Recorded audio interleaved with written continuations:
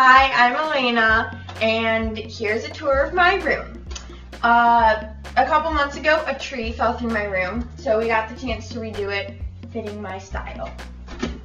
Um, as we go up the stairs, you can see that there's a lot of pictures on the walls, and I took all of these pictures and had them framed because I'm really into photography and also really into art, so I thought it'd be a good way to come up the stairs in my room just to see pictures that I've taken.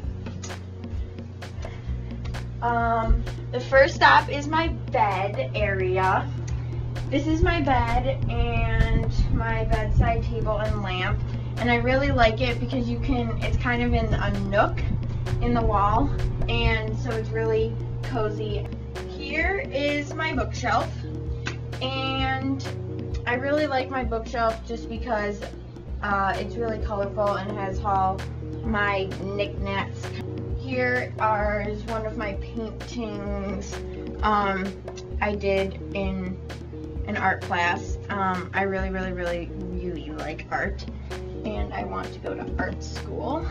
Um, I saved up money to buy this computer because I'm really interested in graphic design and Macs are really good for that.